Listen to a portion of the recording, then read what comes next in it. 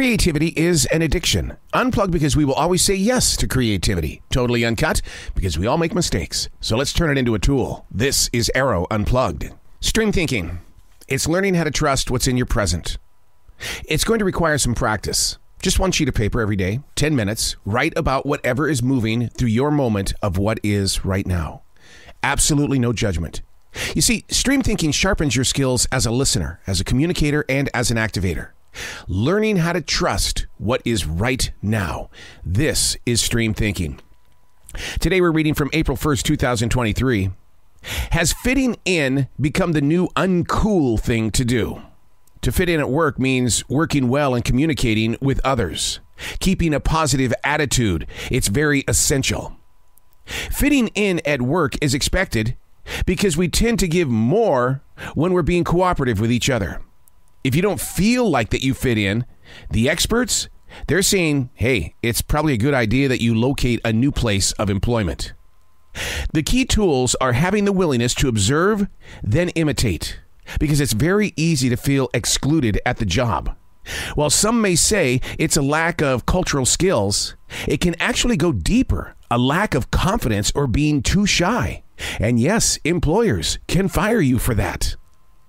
90% of all people have someone on the staff that they really don't like. You know what the professionals say? Fake it. Get over it. It is a way of life.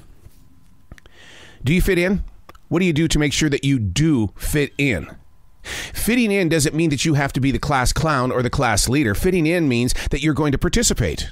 All leaders have bosses above them. If they don't please those bosses, then it's going to trickle down to you. And sometimes it feels like those that are in charge are basically just bullies, when in fact, all they're trying to do is to motivate you, participating with you by trying to fit in a moment where you might be down because things aren't going right.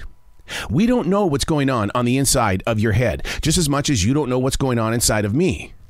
But when we fit into each other's day and we begin to respect each other's paths, things will begin to grow because we begin to understand the truer personality.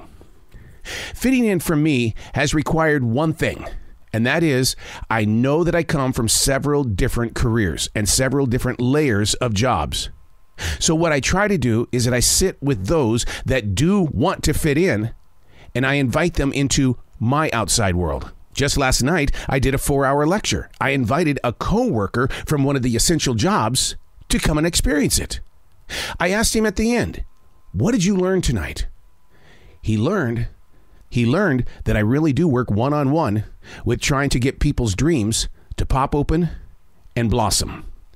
At the other essential job, he doesn't get to see that because there are so many people above me that I just don't fit into that environment.